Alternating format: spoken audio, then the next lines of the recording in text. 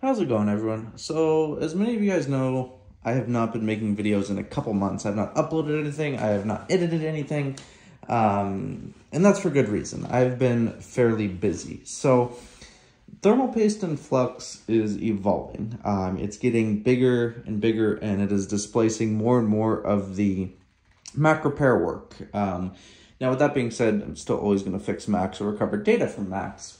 Um, however, thermal paste is growing and thermal paste and flux will become the main part of my business probably within the next coming year. So when I started doing thermal paste and flux, um, it started out as a literal corner, and when I mean a corner, I mean a the actual like four foot corner, not even four foot, two foot corner of a bench in the room that we did shipping to make thermal paste. Um, and then it grew to a small room inside my old, old office. Um, started getting busier and busier. Businesses, business changed, and then it um, became time to, you know what, we needed a bigger space. Um, and when that happened, um, you know, I basically made thermal paste and flux where I'm making it now, which is in a large, like 700 square foot uh, room in my current office. However, now we're at a point where that's getting to be too small. Um, you know, when we have orders, you know, in, up into the thousands, it's just, it's too cramped. Uh, need more space. So I decided to lease a new building um, for thermal paste and flux manufacturing, as well as repair and data recovery. So in 2024, I want to focus more on data recovery versus repair. And that's for numerous reasons. One being the quality of aftermarket parts is just not good. I mean, most of the battery replacements that I've done in 20, uh, 2022 and 2023, especially on the 15 inches, have come back with bad batteries. Not my fault, it's just batteries. Um, doesn't matter what manufacturer you get them from, they're all crappy. The Apple Self-Service Repair is a nice program for screens, but it's still a pain to deal with, and it's expensive, and no one wants to wait seven days for screens. So in my opinion, Mac repair is a dying industry um, for general repair. For board repair, it's not. For data recovery, it's becoming more and more prevalent with these soldered on SSDs and the boards that fail in very, you know, weak ways that you don't have to do anything wrong and they just end up failing, you know, two years into use and you can't get your data back. With that being said, I want to give you guys a little peek of the building that we will move to in the coming weeks. Now, I, last time I announced it really early, and when I announced it really early, um, I got floods of messages like, when, what's your new address? I want to send something in this and that. I don't want that this time.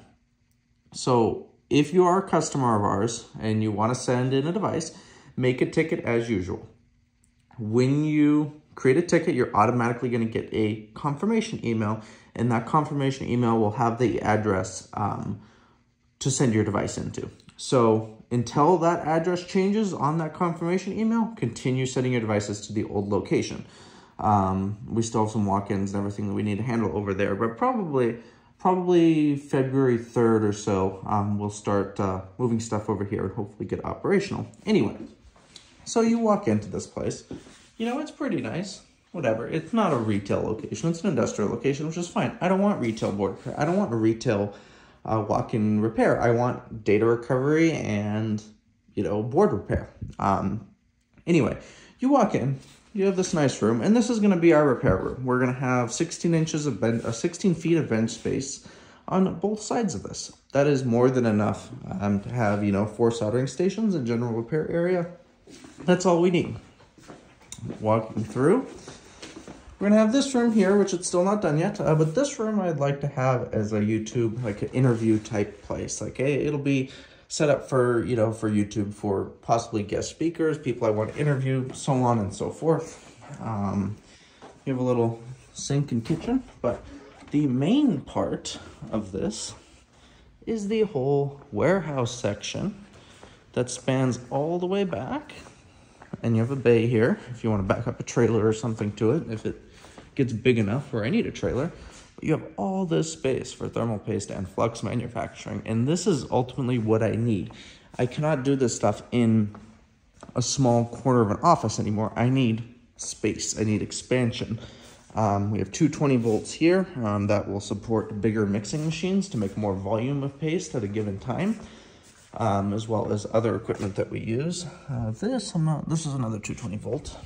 Um, but yeah, it's definitely growing and we'll have more room for supplies and shipping. This is going to be our shipping area, our shipping bench area, which is nice to have. Um, you know, a bench built in already, already here. Um, but yeah, this is the new place. Uh, if anyone is local to the Palmdale area and wants these, please let me know because these are going on Facebook Marketplace for free.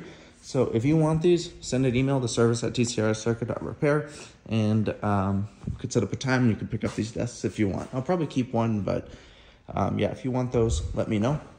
But yeah, this is the new space. Um, it's gonna work out really nice, I think. And yeah, just in the back here, we have a bathroom. You know, just standard, but yeah, thermal paste and flux is definitely evolving and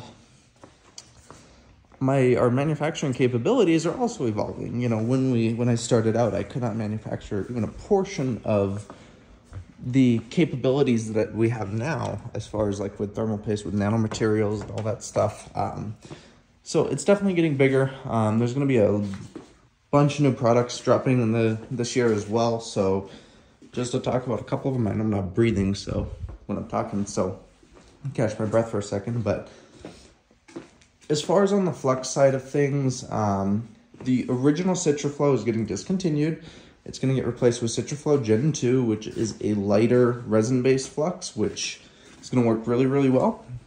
And there's also going to be a completely plant-based flux uh, coming out, and that is going to be a industry first. No one else has done it, and we'll be the first to release that, and that's going to be out soon as well. So just to sum it up, thank you for watching, and I will see you soon.